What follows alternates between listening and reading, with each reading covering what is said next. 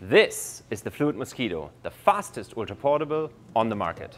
Most scooters out there are either portable and slow or fast and super heavy. The Fluid Mosquito changes the game. With just 29 pounds and fast folding to a minimal footprint, it is perfect for commuting. You can easily carry it a few flights of stairs or take it on public transport. It fits in even the smallest of trunks, so if you don't find any parking close by, you have your Mosquito to save the day. And once you get on it to ride, that's when the fun really starts. Swift acceleration and actual top speed of way over 25 miles an hour are quite the experience on such a small scooter. You can cruise along for up to 22 miles and recharge in just 5 hours. So if you ever miss the bus, the Fluid Mosquito can still get you to your destination. All that speed needs proper brakes. The Mosquito comes with three, including regenerative electric braking to recharge your battery while you slow down. And best of all, the Mosquito is super durable. With two solid tires, you will never have a flat and the dual suspension ensures great ride quality and excellent road grip.